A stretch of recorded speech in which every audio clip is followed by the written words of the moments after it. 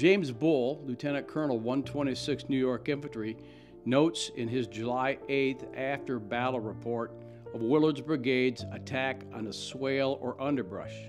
He notes, as is evident to the expectations of the brigade commander, the rebels in considerable force were found in the underbrush. They fired upon the brigade as it advanced, which fire was returned by a portion of the brigade without halting. Many fell in the charge through the woods. Reaching the base of the hill, the brigade advanced at a charge bayonets up the hill mentioned, and within a few minutes recaptured part of the battery previously taken from us. After taking the battery, the brigade continued to advance under fire of a battery higher up the hill on the left and a concentric fire of musketry on the right.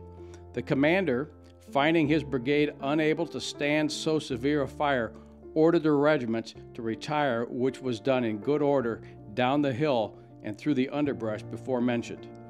After emerging from the underbrush, the line was reformed by direction of Colonel Willard, and immediately afterward, he was killed by a shot from a rebel battery on the hill.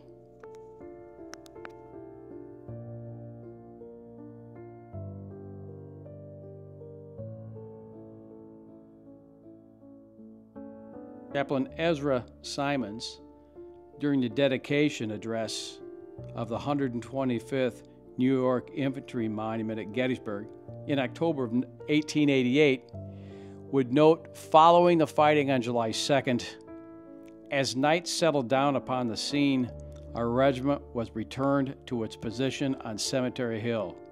But he returned not with us who had led us gallantly, coolly, as a writer was witness, down into that fiery vortex, and not all of those came back who had gone forth. With over 100 of our regiment cut down in the brief space of half an hour, had fallen our brave, skilled, and loved colonel. Willard was dead. He was struck just after the brigade had, by orders, fallen back east of the swale through which it had just charged and driven the rebels. A piece of shell carried away a part of his face and head, and he fell from his horse, instantly killed. His body was taken to the Frey House, the ground and barn of which were used as a hospital, as were many of those houses in near vicinity of the field. That house and barn were on the field and were on the following day exposed to the fire of the rebel guns, shells from which exploded on the premises. The body was carefully wrapped in linen clothing and was last seen by the writer as it was lying on the ground, ready for faithful and loving hands to bear it homeward to an afflicted wife and kindred.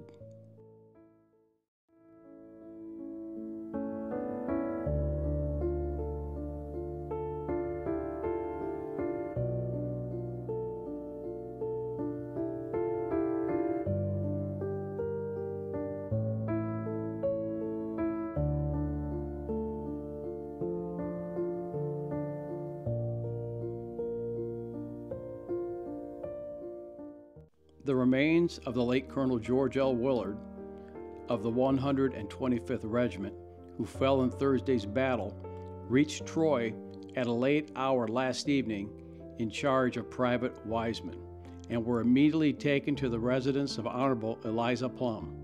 Colonel Willard, while riding at the head of his brigade, was struck by a shell which tore the angle of his mouth and shattered his chin and shoulder. He fell from his horse which galloped into the rebel lines at full speed. The gallant rider was dead when taken from the ground.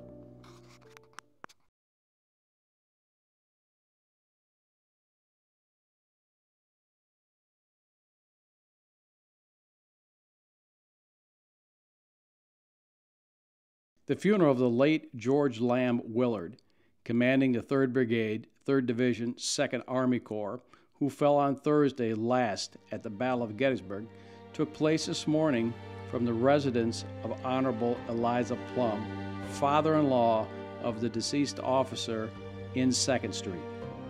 More imposing ceremonies have rarely been witnessed. A large procession of military, the Common Council of two cities, with numerous friends and relatives, contributed to form an unusual large assemblage. The remains of the lamented dead repose in an elegant burial casket, which was guarded by the faithful servant of the deceased, Private Wiseman. The glass case was covered with a profusion of natural flowers. The upper part of the face looked quite natural, but the lower portion was covered to hide the wound, which in an instant changed the heroic leader to a pale corpse. Many hundreds persons availed themselves of the opportunity to gaze upon the features of the departed hero.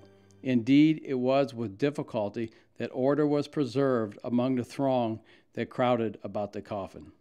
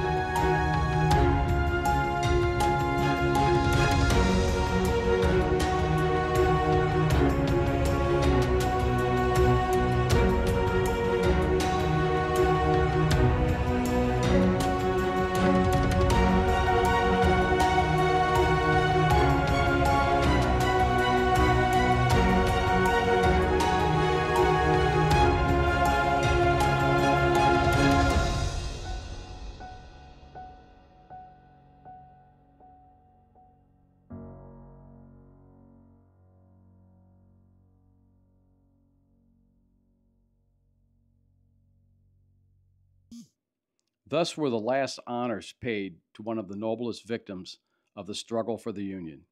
He fell while resisting the advance of a desperate foe at the threshold of a sister state. he reposes among friends in beautiful Oakwood. Citizens who honored his military talents and respected his private character while living have paid the last tribute to the gallant dead. And when the echoes of this fearful conflict die away and the names of the slain stand as an enduring record, the page will be a bright one that will contain the letters of living light, the name of Colonel George L. Willard.